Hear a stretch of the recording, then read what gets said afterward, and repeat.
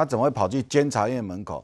他如果要去这个盘点哈或检讨蔡英文总统这八年的施政，照道理应该去中东户门口啊，哦，跟小英总统有关系地点吗？才能够去那里盘点吗？那他选择在监察院，其实他整场听完，我还是不知道他为什么选在监察院门口，这是第一个。第二个，我上个礼拜我就说，如果啊你们讲的都讲重复了，那就不要出来讲了嘛。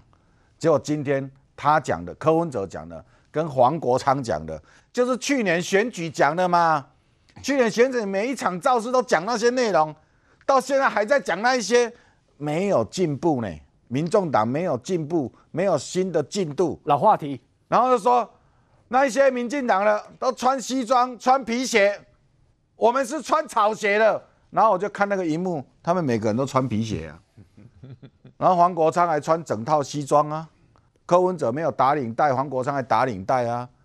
你哪你哪个公家歹？就是他做这个比喻，然后自己的那种服装仪容也没有管理好哦。然后呢，我可以预期啦，他五月十九到民进党中央党部下面北平东路去那里的时候，讲的跟今天讲的又一模一样。他故意挑你们民进党党部的北平东路，北平东路啦。然后呢，这个因为那个场地适中啦，要动员人哈，就进了万啊。那因为新党中国新党有有宣布要参加哦，所以他算合办了哦，算民众党跟中国新党合办那一场了哈。那他们的诉求应该就是一直在。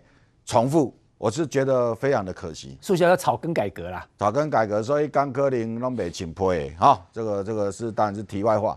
但是民主时代啊，他们要讲什么啊？这个大家有没有？因为他们也会直播嘛，电视台也会转播，那我们就会听有则改之，无则加勉呐哈，无则加勉。但是因为现在柯文哲深陷几大弊案，在上个礼拜这的弊案叫做台北峡、台北城。台智光、北市科、金华城，为了让大家容易记忆啊，我们就取叫台北城啊。台智光、北市科、金华城三个嘛哈。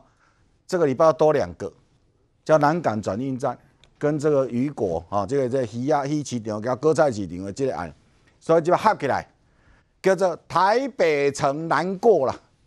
台北峡港口啦，哦，这个梗连得很好。台北城难过，哦，难的是南港转运站嘛，哎，过的是果菜嘛，哦，雨雨雨果市场嘛，哦，所以伊要大家讲柯文哲五大弊案，台北城难过，台北城港口，哦，这个是柯文哲不会去背你。那柯文哲这些弊案，我觉得最关键的是什么？他当时在市府的这些幕僚啊，当时在市府这些幕僚都没有在他旁边的。都没有在他旁边，都离职啦，所以搞不清楚当时怎么决策的。第二个，因为柯文哲把自己当皇帝，所以他在开那个什么战情会议，每天早上七点半开，都是他定定稿的，都是他决定的，没有人知道他的决策逻辑。所以现在包括民众党的八个立委，八个立委没有人出来帮柯文哲讲细节。民众党的四个台北市议员。没有一个人出来讲细节，柯文哲以前的重要幕僚蔡壁如也没有出来讲细节，通通没有。然后柯文哲就一句：“不要查了啦，你们查也没有用啦，我没事啦。啊，如果当时有事，早就被查了啦。我选总统的时候，早就被查完了啦。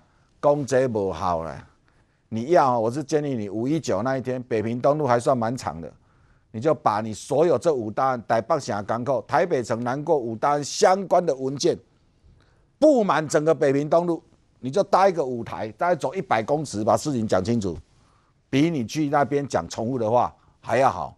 柯文哲，你不把这五大案讲清楚，台北城南过五大案讲清楚，这个事情会一直跟着你，而且旁边的黄国昌会一直笑你，因为黄国昌现在从头到尾也不帮柯文哲做任何的这一个。辩护啊，所以柯文哲，你如果要继续保你在民众党里头的声量，建议你赶快把这事情讲清楚，否则黄国昌马上就会取代你了。